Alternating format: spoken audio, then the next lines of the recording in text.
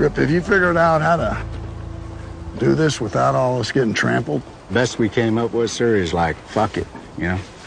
Let's get up there as fast as we can and just chase them some bitches down a mountain. Fuck it.